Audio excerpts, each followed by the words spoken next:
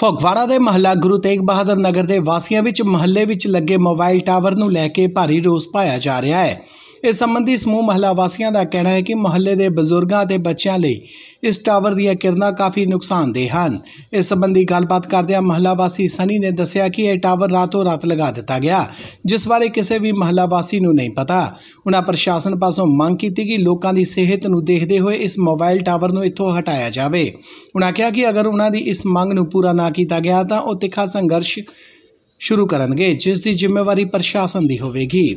ਮਾਮਲਾ ਇਹ ਹੈ ਜੀ ਸਾਡੇ ਨਾ ਮਹੱਲੇ ਦੇ ਵਿੱਚ ਗੈਰ ਕਾਨੂੰਨੀ ਇੱਕ ਟਾਵਰ ਲੱਗਾ ਮੋਬਾਈਲ ਟਾਵਰ ਆ ਤੇ ਇਹਦੇ ਸੰਬੰਧ ਵਿੱਚ ਅਸੀਂ ਇਕੱਠੇ ਹੋਏ ਆ ਤੇ ਇਹ ਟਾਵਰ ਇਹ ਰਾਤੋਂ ਰਾਤ ਲੱਗ ਗਿਆ ਤੇ ਇਸ ਮਹੱਲੇ 'ਚ ਕਿਸੇ ਨੂੰ ਵੀ ਖਬਰ ਨਹੀਂ ਹੋਈ ਤੇ ਟਾਵਰ ਤਿੰਨ ਦਿਨ ਰਾਤ ਨੂੰ ਲਾਈਟਾਂ ਵੀ ਬੰਦ ਰਹੀਆਂ ਤੇ ਇਹ ਜਿਹੜਾ ਟਾਵਰ ਲੱਗਾ ਵਾ ਕਿਸ ਵਿਅਕਤੀ ਨੇ ਲਾਇਆ ਔਰ ਇਹ ਇਹ ਟਾਵਰ ਸਾਡੇ ਮਹੱਲੇ ਦੇ ਵਿੱਚ ਹੀ ਬੰਟੀ ਮਹੀ ਆ ਉਹਨਾਂ ਦੇ ਘਰ ਲੱਗਾ ਤੇ ਕੋਈ ਉਹਨਾਂ ਦੇ ਪਰਿਵਾਰ ਦੇ ਵਿੱਚ ਹੀ ਇਹਨਾਂ ਨੇ ਮਤਲਬ ਕਿ ਕੋਈ ਪ੍ਰਸ਼ਾਸਨ ਅਧਿਕਾਰੀ ਨੂੰ ਮਿਲੇ ਤੁਸੀਂ?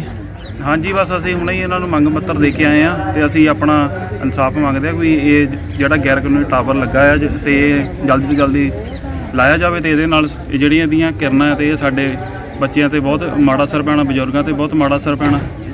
ਜਦੋਂ ਟਾਵਰ ਲੱਗ ਚੁੱਕਾ ਵਾ ਹਾਂਜੀ। ਤੁਸੀਂ ਇਹਦਾ ਵਿਰੋਧ ਹੁਣ ਕਰ ਰਹੇ ਆ ਹਾਂਜੀ।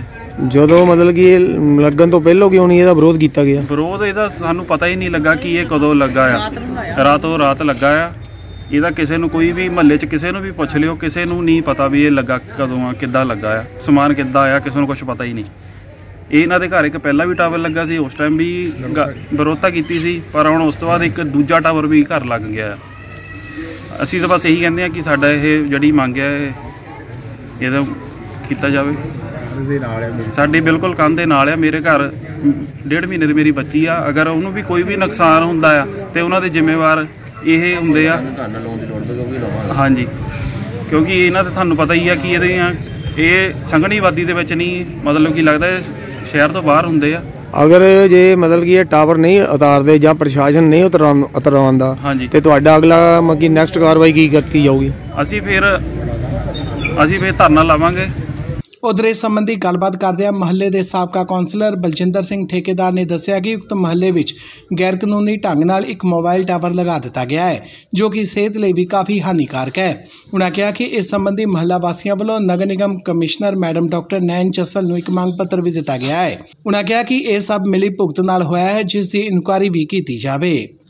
ਸਰ ਜਿਹੜਾ ਕਮੇਟੀ ਘਰ ਆਏ ਆ ਕਿਸ ਸੰਬੰਧ ਵਿੱਚ ਆਏ ਮਹੱਲਾ ਗੁਰਤੇਗ ਬਹਾਦਰ ਨਗਰ ਵਾਰਡ ਨੰਬਰ 36 ਦੇ ਮਹੱਲੇ ਦੇ ਵਿੱਚ ਇੱਕ ਗੈਰ ਕਾਨੂੰਨੀ ਟਾਵਰ, ਜਿਹੜਾ ਕਿ 에ਅਰਟੈਲ ਕੰਪਨੀ ਦਾ ਸ਼ਾਇਦ ਚੋਰੀ ਛੁਪੇ ਰਾਤ ਨੂੰ ਹਨੇਰੇ ਦੇ ਵਿੱਚ ਦੋ ਦਿਨ ਲਾਈਟਾਂ ਬੰਦ ਕਰਕੇ ਚਾਰ ਦਿਨ ਲਗਾਤਾਰ ਸਟਰੀਟ ਲਾਈਟ ਬੰਦ ਰਹੀ ਆ। ਜਿਹਦੇ ਵਿੱਚ ਕਿਹਦੀ ਮੂਲੀ ਭੁਗਤ ਵਾ, ਅਸੀਂ ਮੰਗ ਕਰਦੇ ਉਹਦੀ ਇਨਕੁਆਇਰੀ ਹੋਣੀ ਚਾਹੀਦੀ ਆ। ਤੇ ਇਹ ਗੈਰ ਕਾਨੂੰਨੀ ਟਾਵਰ ਜਿਹੜਾ ਕਿ ਸਿਹਤ ਲਈ ਇੰਨਾ ਨੁਕਸਾਨਦੇਹ ਆ, ਪ੍ਰੈਗਨੈਂਟ ਬੀਬੀਆਂ ਲਈ ਵੀ ਬਹੁਤ ਨੁਕਸਾਨਦੇਹ ਆ, ਹਾਰਟ ਦੇ ਪੇਸ਼ੈਂਟ ਲਈ ਬਹੁਤ ਨੁਕਸਾਨਦੇਹ ਆ। ਅਸੀਂ ਪ੍ਰਸ਼ਾਸਨ ਤੋਂ ਮੰਗ ਕਰਦੇ ਆ ਕਾਰਪੋਰੇਸ਼ਨ ਤੋਂ ਇਹਨੂੰ ਪਹਿਲ ਦੇ ਆਧਾਰ ਤੇ ਰੋਕਿਆ ਜਾਵੇ, ਇਹਨੂੰ ਲਹਾਇਆ ਜਾਵੇ ਤਾਂ ਜੋ ਜਿਹੜੇ ਗੁਰੂ ਨਾਨਕ ਗੁਰਤੇਗ ਬਹਾਦਰ ਨਗਰ ਮਹੱਲਾ ਦੇ ਨਿਵਾਸੀ ਆ, ਆਪਣੀ ਵਧੀਆ ਜ਼ਿੰਦਗੀ ਬਤੀਤ ਕਰ ਸਕਣ। ਅਸੀਂ ਕਾਰਪੋਰੇਸ਼ਨ ਤੋਂ ਮੰਗ ਕਰਦੇ ਹਾਂ ਕਿ ਇਮੀਡੀਏਟ ਇਹਦੇ ਆਰਡਰ ਕਰਕੇ ਹੁਣੇ ਲਹਾਇਆ ਜਾਵੇ ਇਹਨੂੰ, ਤਾਂ ਜੋ ਲੋਕ ਜਿਹੜੇ ਆਪਣੀ ਵਧੀਆ ਜ਼ਿੰਦਗੀ ਬਤੀਤ ਕਰ ਸਕਣ। ਅਸੀਂ ਮਹੱਲਾ ਨਿਵਾਸੀ ਅੱਜ ਕਾਰਪੋਰੇਸ਼ਨ ਦੇ ਵਿੱਚ ਕਮਿਸ਼ਨਰ ਸਾਹਿਬ ਨੂੰ ਮੰਗ ਪੱਤਰ ਦੇਣ ਆਏ ਆ ਤੇ ਅਸੀਂ ਇਹ ਜੇ ਇੱਥੇ ਨਹੀਂ ਰੁਕਦਾ ਤਾਂ ਇਹਦੇ ਲਈ ਅਸੀਂ ਅਗਲਾ ਸੰਘਰਸ਼ ਮਹੱਲੇ ਵਾਲੇ ਰਲ ਕੇ ਵਿੱਢਣ ਨੂੰ ਮਜਬੂਰ ਹੋਵਾਂਗੇ। ਤੋਂ ਅਸੀਂ ਕਾਰਪੋਰੇਸ਼ਨ ਨੂੰ ਇੱਕ ਵਾਰੀ ਫੇਰ ਅਪੀਲ ਕਰਦੇ ਆ ਕਿ ਇਹਨੂੰ ਇਮੀਡੀਏਟ ਪਹਿਲ ਦੇ ਆਧਾਰ ਤੇ ਇਹਨੂੰ ਰੁਕਵਾਇਆ ਜਾਵੇ ਲਹਾਇਆ ਜਾਵੇ। ਧੰਨਵਾਦ। ਸਰ ਉਹਨਾਂ ਦਾ ਨਾਮ ਵਗੈਰਾ ਕੀ ਹੈ ਜਿਹੜੇ ਵਿਅਕਤੀ ਲਾ ਰਹੇ ਆ? ਇਹ ਬੰਟੀ ਮਾਹੀ ਤੇ ਉਹਦੇ ਮਦਰਵਾ ਨਾਲ ਕਾਲੇ ਮਾਹੀ ਦਾ ਬੇਟਾ ਵਾ। ਨਜਾਇਜ਼ ਤੌਰ ਤੇ ਇਹ ਜਿਹੜਾ ਇਹ ਲਾ ਰਹੇ ਆ ਤੋਂ ਅਸੀਂ ਮੰਗ ਕਰਦੇ ਆ ਕਿ ਇਹਨੂੰ ਰੋਕਿਆ ਜਾਵੇ।